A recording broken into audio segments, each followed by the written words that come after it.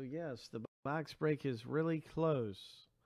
But right now it's time to see who wins their way in.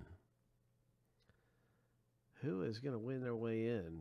And we're going to use this randomizer right here. We've got our six owner spots, and there will be three who make it in in filler B. It's three winners. It's 50 50 filler.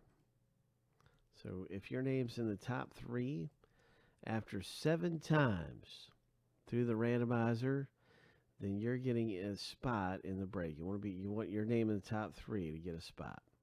So we go seven times through. Good luck to everyone who got in the filler. Lucky number seven.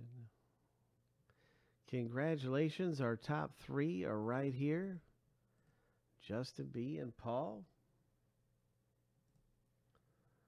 And so you have made it into the break.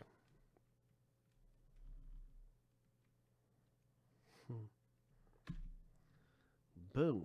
So that is that concludes filler B.